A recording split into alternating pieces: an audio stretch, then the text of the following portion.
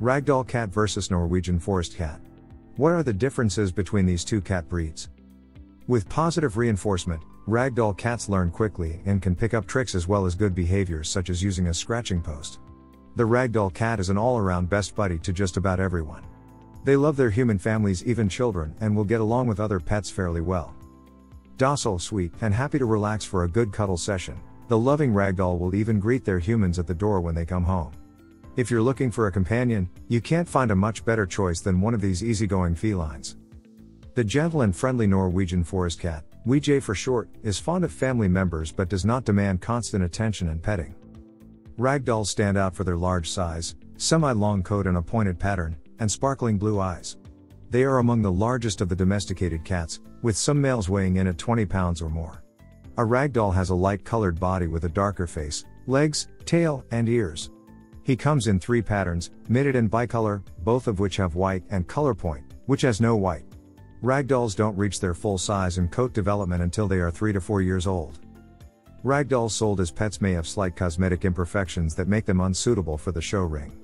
These might include ears set higher on the head than preferred, a nose that doesn't turn up at the tip, eyes that aren't crater lake blue, or maybe mitts that don't go up high enough on the hind legs. As long as they have the sweet, loving ragdoll temperament, none of that really matters for a cat who will be a beloved companion instead of a show ring star. Norwegian forest cat is notable for its long, thick, beautiful coat and large size. The head has an inverted triangle shape, pointed at the chin and then widening on each side up toward the medium to large ears, which are heavily tufted. Large, almond shaped eyes are green, gold, or copper, although white cats may have blue eyes or odd eyes. The moderately long body looks powerful, with its broad chest and heavily muscled thighs. Large round paws have tufts of fur between the toes. The bushy tail is as long as the body. The weatherproof double coat varies in length. The bib begins with a short collar at the neck, mutton chops on the side, and a full frontal ruff. Full breeches, long hair on the thighs, cover the hind legs. On the body, the coat is long and flowing, but it changes with the seasons. A Wegie in summer looks relatively naked compared to his full winter glory. Unlike many cats, Ragdolls are notable for collapsing into the arms of anyone who holds them, even if they are cradled on their back. They love their people, greeting them at the door, following them around the house, and leaping into a lap or snuggling in bed whenever given the chance. They often learn to come when called or to retrieve toys that are thrown for them. The word most often used to describe them is docile, but that doesn't mean they are inactive. They like to play with toys and enter into any family activities. With positive reinforcement in the form of praise and food rewards when they do something you like, ragdolls learn quickly and can pick up tricks as well as good behaviors such as using a scratching post.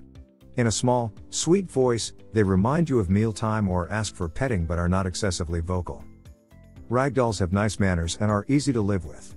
You will find a ragdoll on your sofa or bed, but generally not much higher than that. He prefers to stay on the same level with his people rather than the highest point in a room. The gentle and friendly Norwegian forest cat is fond of family members but does not demand constant attention and petting. He is satisfied to be in the same room with people and will entertain himself if no one is home. Although he appreciates the human company, he can be a bit reserved with visitors. Even with family, he's not much of a lap cat, but a nice scritch between the ears or beneath the chin is always welcome, and he'll usually reciprocate with a nice head butt or cheek rub. He communicates with classic Scandinavian restraint. His quiet voice is employed only when he needs something dinner on time, and rises only if he is ignored. This large and athletic cat is a climber. You will often find him at the highest point he can reach in the home, and unlike some cats, he doesn't have any qualms about descending trees or other heights headfirst. Thanks to his heritage as a wilderness and farm cat, not to mention his waterproof coat, the Wegie thinks nothing of fishing in a body of water for a nice meal. While he loves the outdoors, he is content to live quietly in a home.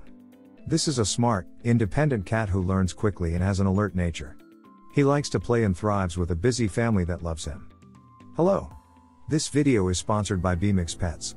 Are you looking for high quality cat collars at an affordable cost? Check out bemixpets.com. Use coupon code KittenLife to get 20% off.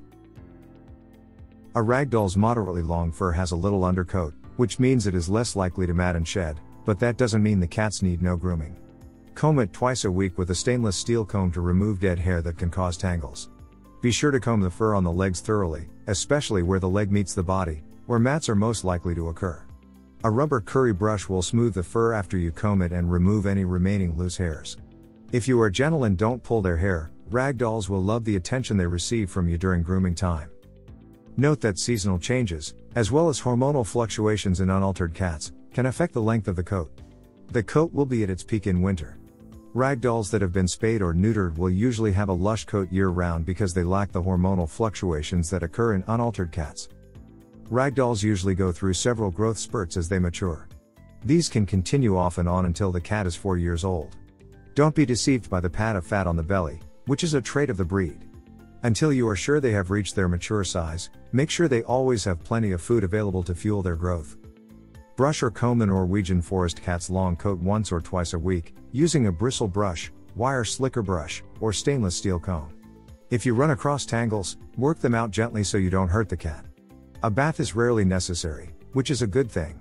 With the Wegie's practically waterproof coat, it can be very difficult to get him wet enough for a bath.